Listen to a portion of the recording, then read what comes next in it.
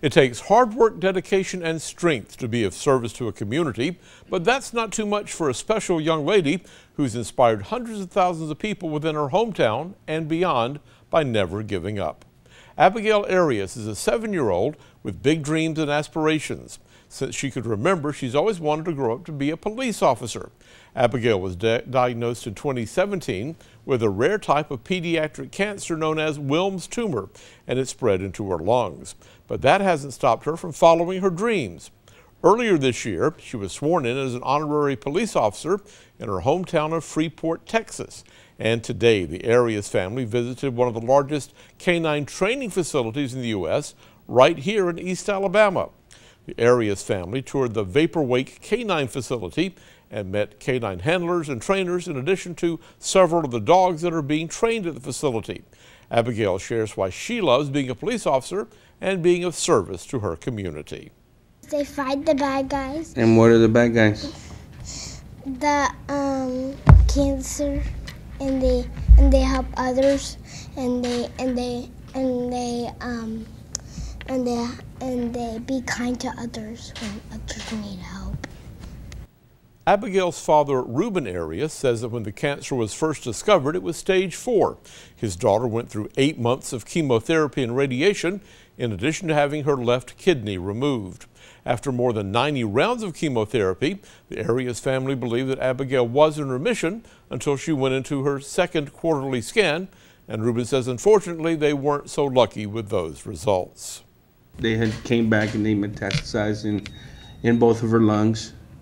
She went back into uh, treatment uh, for another eight months, where she underwent another 90 plus rounds of chemo. It's like 180, 283 rounds of chemo she did over in two years. And uh, unfortunately, in uh, November of uh, 2018, after going through all that, uh, we were told that the the chemo didn't work, and for us to basically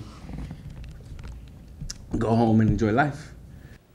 Although this has been life changing for the Arias family, they're still determined to enjoy every day they spend together.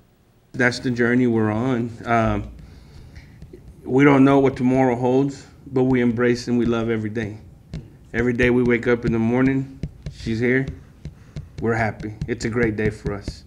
And we're going to continue to live that way and we're going to enjoy, uh, enjoy life. Definitely puts uh, gives you a different perspective. You know, you hear all the time, "Oh, it's life changing. It's life changing." No, this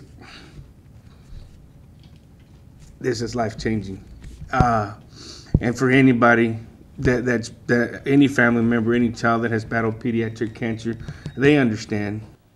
Freeport Police Chief Raymond Garivey also traveled with the Arias family to the canine training facility today. Chief Garivey recalls the moment he first met Abigail and how she immediately changed his life. She walked in the door.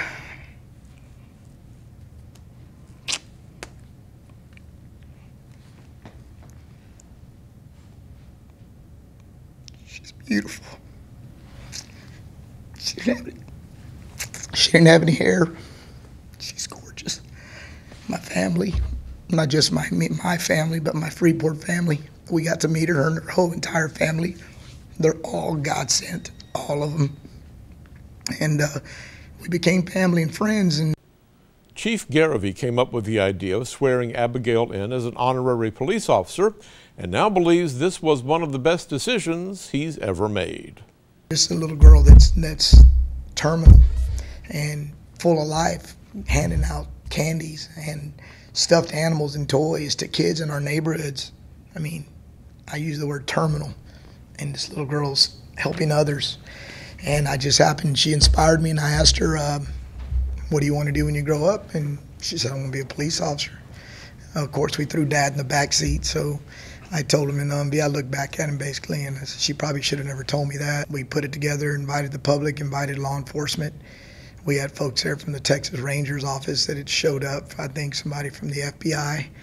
Uh, it was beautiful. Cops from all over the state and it was a, the most beautiful ceremony you'd ever seen. And uh, I got a little emotional. And uh, you know, when the last part of swearing her in was, you know, to continue fighting the bad guys, which she refers to the cancer inside of her, until all of her cancer is gone. and we had no clue the, the, the video went viral. During today's visit, Abigail and her brother Ethan both received certificates for completing the training courses and Vapor Wake gear to take home with them. The facility also announced that they will be naming a canine puppy after Abigail in her honor.